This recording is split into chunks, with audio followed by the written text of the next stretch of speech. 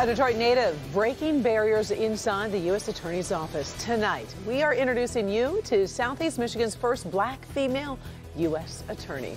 Without question, it has been one very big week for Dawn Ison as she takes over one of the largest U.S. Attorney's offices in the country. Victor Williams got a chance to sit down with Ison today to talk about her background and the significance of her taking on this new role. This woman is not only shattering glass ceilings, but she also has a soft spot for her home community that's right here in the city of Detroit. I am Detroit, and by extension, I'm Saginaw, Flint, Pontiac too. To say that Dawn Ison is a daughter of Detroit would be a true understatement. I graduated from Cass Technical High School. I'm a daughter of a single mother who worked at the post office and struggled to take care of her children. I'm the daughter of a father who was murdered on the streets of Detroit.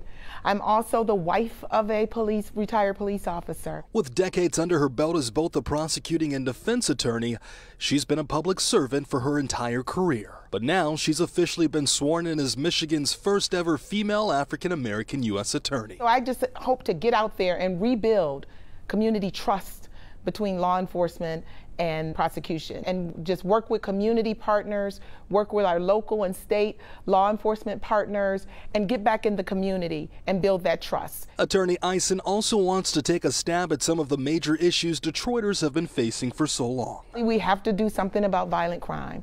And so I'm going to restructure our approach to it. We're going to go back to some of the basics and we're going to start pursuing those traditional, federal, complex violent crimes, dismantling large violent gangs. And in a time where representation really matters, she's hoping to continue being the role model that she's always been. And if I serve as an inspiration to little boys and little girls, then I'm honored to do it. And I hope that they see in me what they can see for themselves. And U.S. Attorney Ison says that she's hoping to make an impact as soon as possible.